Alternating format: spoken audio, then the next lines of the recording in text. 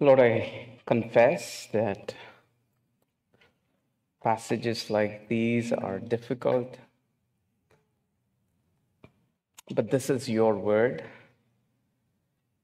And your word is given to us for our benefit, for our profit. And so I ask you, God, that you will make it profitable to us, that you will speak to us through your word in areas that we really need to hear from, and that you will change our lives, continue to transform us into your likeness, and may your name be glorified. In Jesus' name we pray. Amen each year, um, around October, our kids have something called uh, a curriculum night at their schools, where the class teacher speaks to us about that year's curriculum, but she also lets us know the rules she has established for the class. Last year, Alethia's teacher had some really unique rules for her class. And so we went back home thinking, hmm, this teacher must really be good.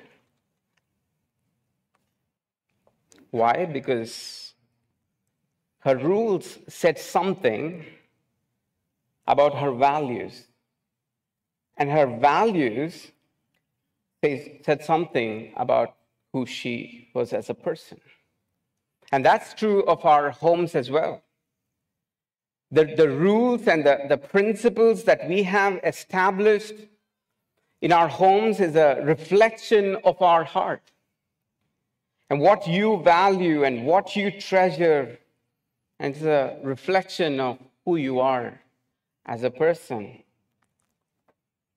Why do I say all of that? Because in today's passage, there are a number of laws, case laws.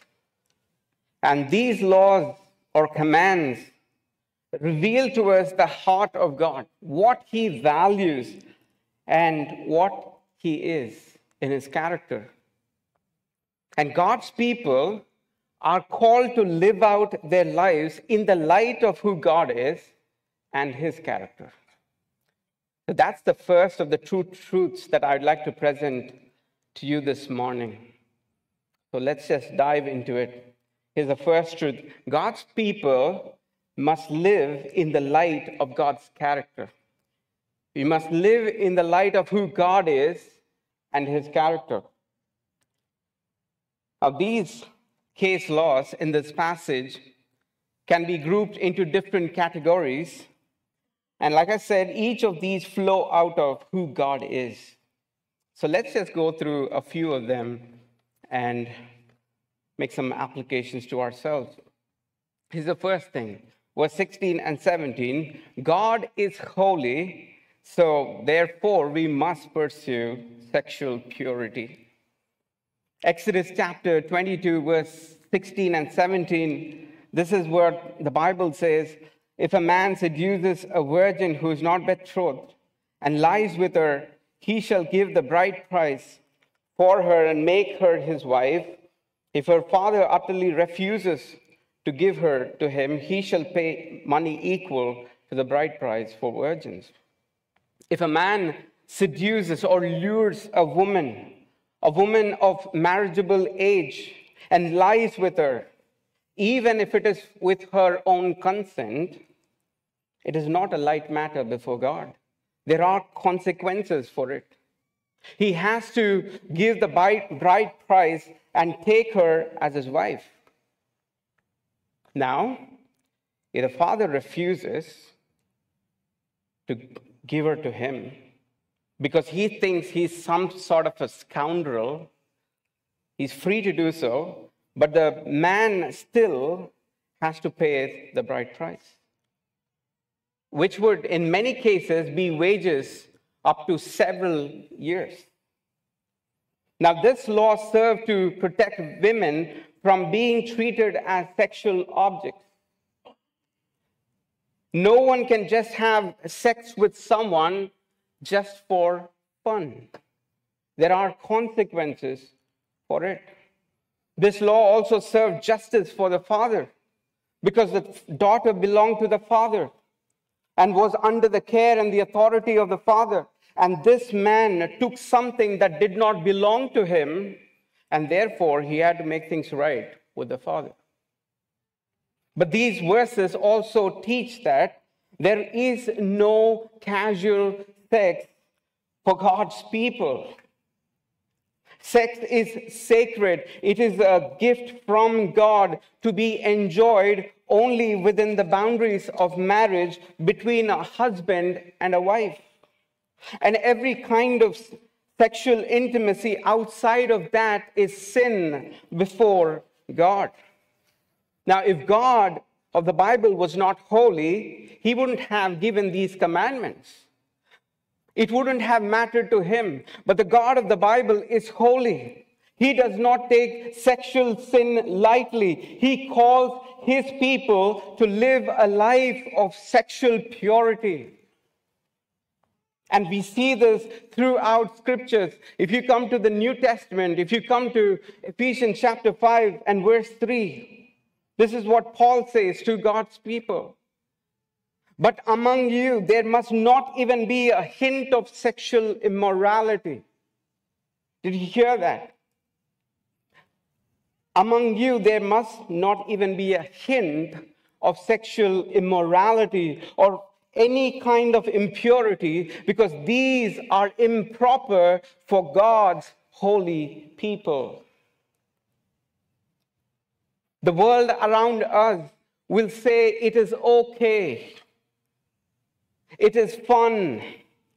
It is normal. It will say it's okay to sexually experiment.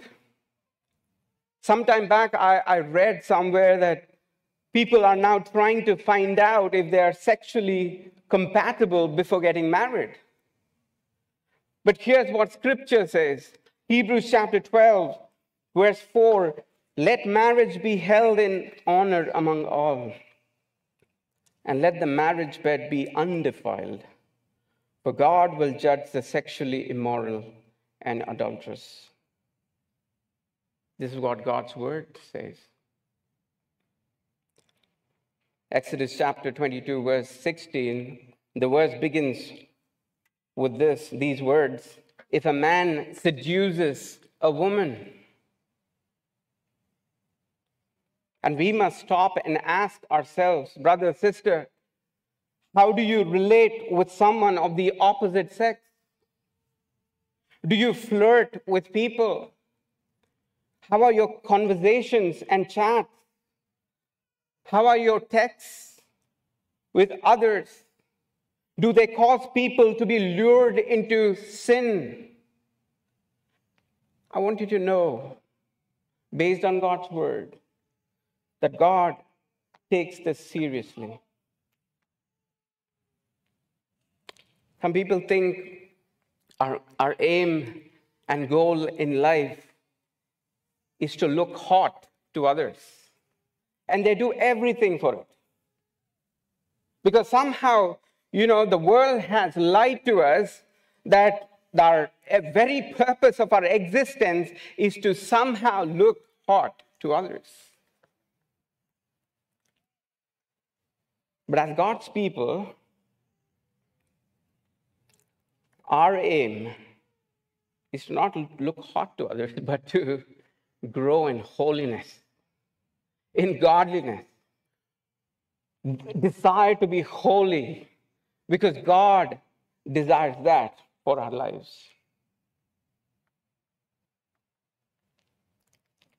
Here's the next thing that we see in this passage God is worthy we must worship him only.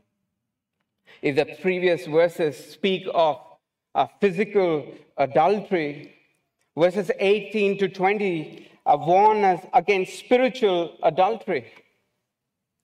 You shall not permit a sorceress to live. Whoever lies with an animal shall be put to death. Whoever sacrifices to, an, uh, to any god other than the Lord God alone shall be devoted to destruction. What are these verses talking about? We have sorcery here. which is seeking um, the intervention of evil forces, attempting to gain knowledge of the future or, or control over things or people. And God hates it because it is evil.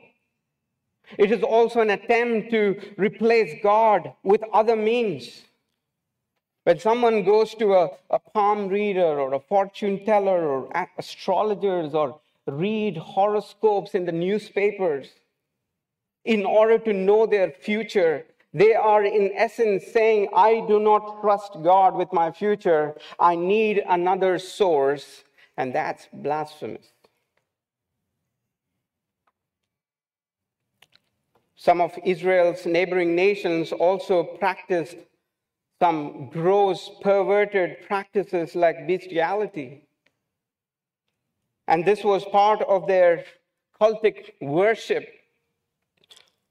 Those nations had fertility gods represented by certain animals. And they believed that their union with the animal would somehow give them favor with their gods. And again, God's people were warned against it. They were to trust God, the Lord their God, who is the source and the giver of every good thing. Verse 20 is more explicit. They were not to offer sacrifices to um, any other God, but the Lord alone, because He alone was worthy. He alone was to be trusted and worshiped. And that's true for us as well. Brother, sister, who do you trust in with your future, for your future? Is it God or something else, some other means apart from God? Who or um, who do you trust in uh, for your needs? Is it God or something else? Who or what do you bow down before? Is it God or an idol that you have made for yourself?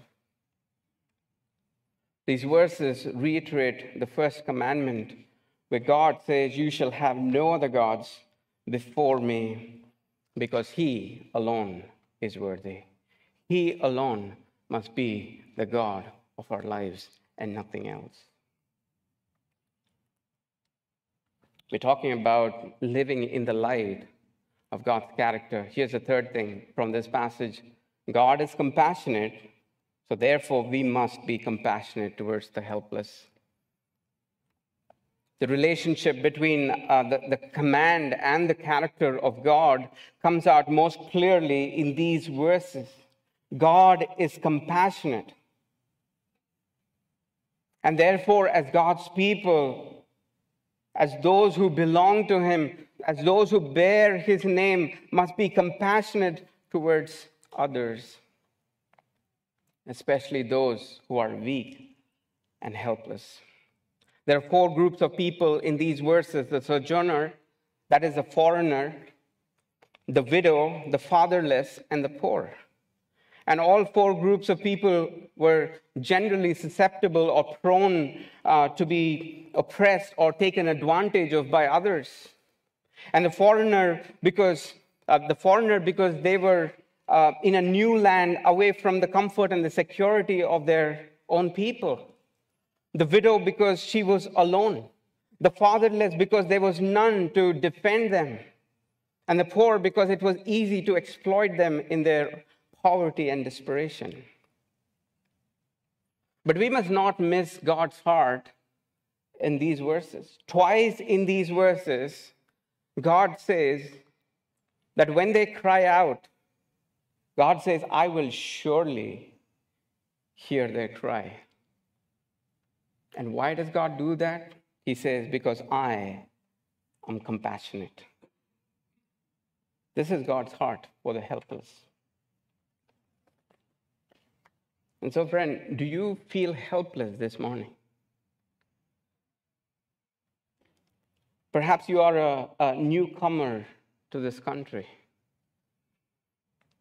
And you've left the security of your family and people.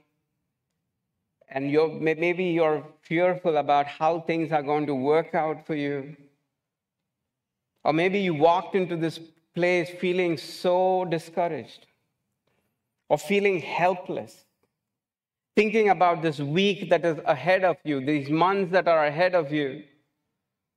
But I want you to know that God cares for you. He hears your cry. He is the help of the helpless because He is a compassionate God. Or perhaps you feel alone because your husband uh, passed away, or maybe because you come from a, a, a broken home. Your husband or, or father perhaps uh, walked out of your life. Let me say this. First of all, I want you to know that we live in a broken world marred by sin. And that's why we experience brokenness in this world. But here's something that you need to see, and that is this. But God does not leave us in our brokenness. He sees your tears, He hears your cry. He is your defender. That's what God is saying. If you do this, listen, be careful because I'm going to come and defend them. Other parts of scripture says he is the father to the fatherless. He is a compassionate God. That is who God is. Now, because God is compassionate, He's saying what He is asking His people to do. That means we must be compassionate towards our brothers and sisters and people who are going through brokenness in our lives, in their lives. That means we cannot be insensitive and be indifferent toward them. We cannot be uncaring towards the newcomers. We must do everything that we can to, to help them. That means to the fatherless, we men in this church must rise up and be godly father figures to them to love them, to be concerned for their well being and defend them, because that is what God does in this passage. We must let love, God's love and compassion, flow to them through our lives. Here's the next thing that we see in terms of who God is and his commands. Verse 28 to 31 we see that God is the owner, God is the source of everything. And therefore, we must honor him with everything. This is what verse 28 means. Now, it, it can be a little confusing. It says, You shall not revile God, nor curse a ruler of your people but this is what it actually means it means don't revile God by cursing your leaders. Why? Because even the authority that God that that that is over your life is placed by God. Romans chapter 13 and verse 1 all authority comes from God. So honor God by respecting authority in your lives, whether it is civil authorities or parents or shepherds whom God's placed in your lives. We not only honor God by how we treat God ordained authority in our lives, we honor God with everything that we have. Recognizing that we have what we have is from the hand of God. Verse 29 you shall not delay to offer from the fullness of your harvest, and from the outflow of your presses, the firstborn of your sons you shall give to me. This is why we honor God with our first fruits and our tithes and our offerings, and not from our leftovers, because we acknowledge that it is God who has blessed us with that income. But we not only give God the best of our offering from our income, but if God has given us graciously children, we honor God by giving them back to the Lord. We honor God by committing ourselves to bring them up in the ways of the Lord and not in the ways of the world, and not hold them back for ourselves, but we be willing to give completely to the work of the Lord so that they may serve the Lord with their lives. We honor God not only with our possessions, with our children, but with our very lives by giving our, ourselves to Him because God not only owns our possessions, but God owns us. And that's why in verse 31 it says, You shall be consecrated to me.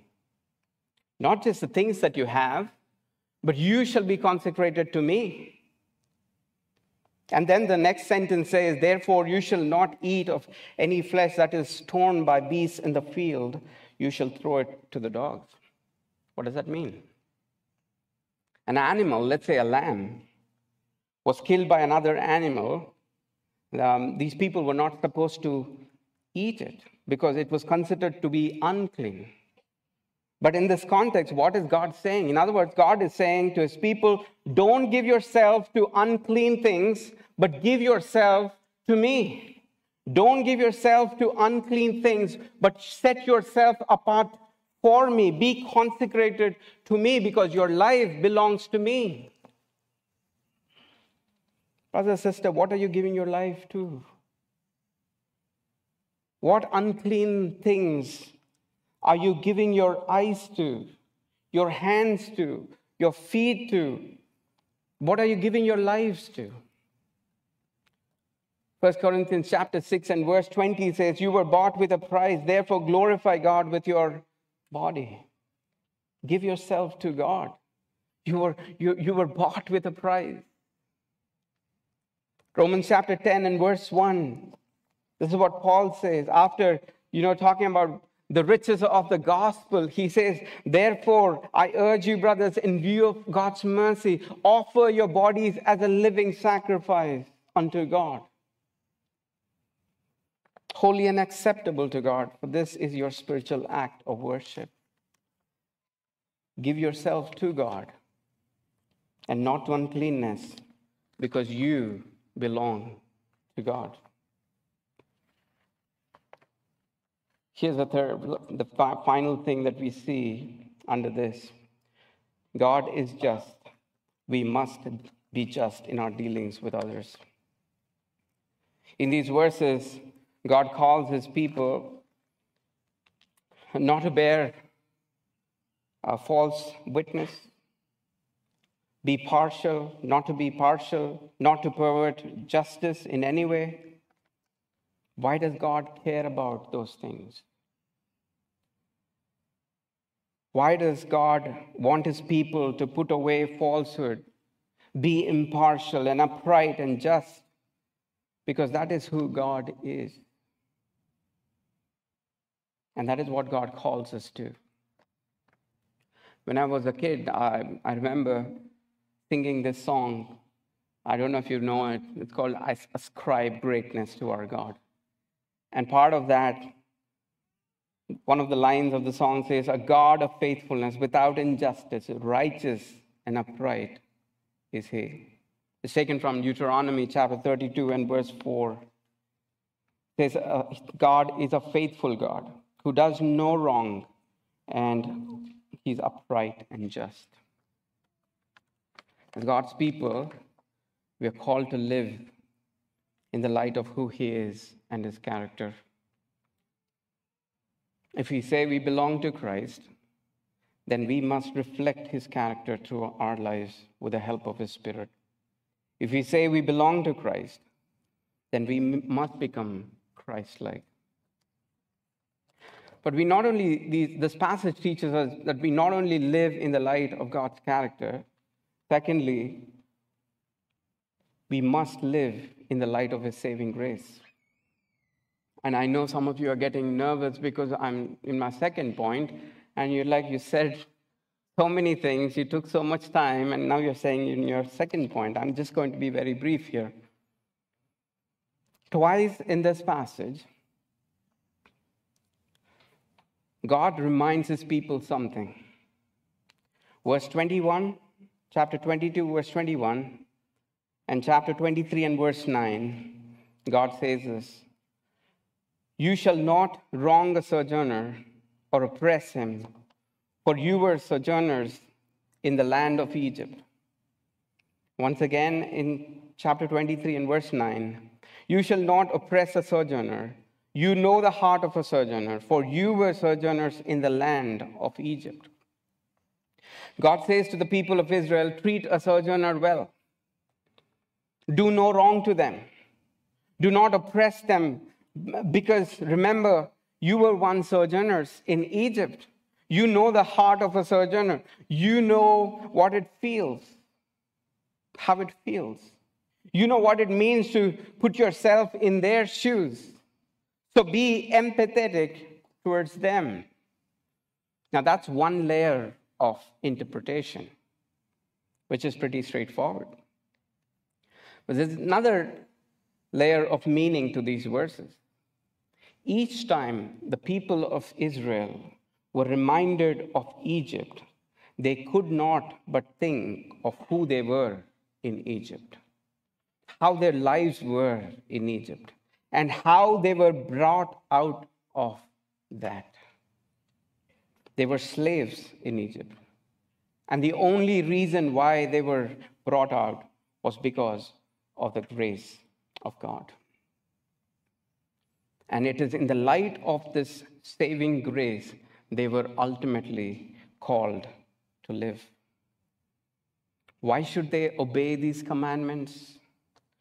Why should they pursue holiness and worship God only and treat people well, be just and upright, and honor God with their very lives? It's because of the grace of God in their lives. Brother, sister, what is the motivation for our obedience to God? Why should we pursue holiness and sexual purity? Why should we put God here and worship Him only? Why should we p- treat people with love and compassion? And why should we honor uh, God with everything that we have, with our very lives? Why? Because of the saving grace of God. He brought us out of our darkness into His light. He saved you and me through the death and resurrection of Jesus Christ. And that's why we obey Him and live for Him. 2 Corinthians chapter 5, verse 15 says, Paul says this, and he died for all, that those who might live no long, might no longer live for themselves, but for him who, for him who, for their sake, died and was raised. Brother and sister, Jesus died and was raised for our sake, for our salvation.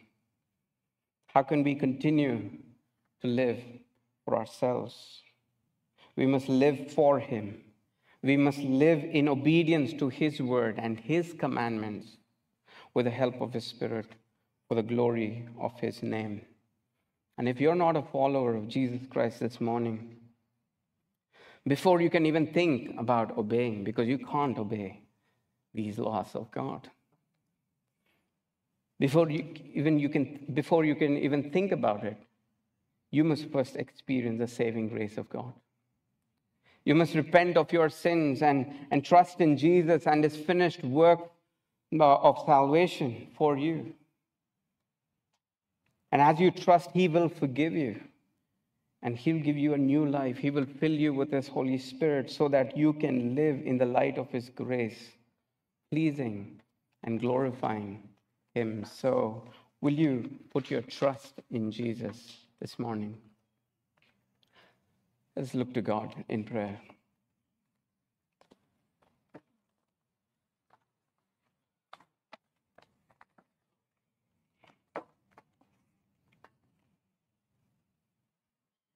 God, our Heavenly Father, we thank you that in your great mercy, that you have made us your own people, that we belong to you.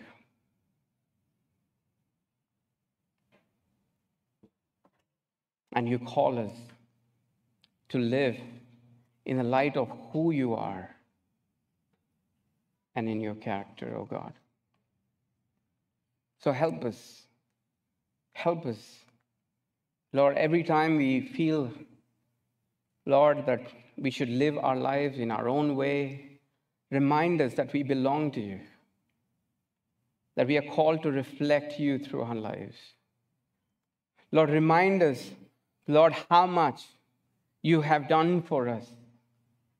Remind us of the saving grace that we might live in the light of your grace, O oh God. Lord, if there is anyone here who does not know you, would you please continue to minister to their hearts that they may know that you love them and that you have done everything on behalf for, for them, O oh God. That they might, Lord, see their own need for a Savior in their lives and turn to you and put their trust in you. We thank you for who you are in our lives. In Jesus' name we pray. Amen.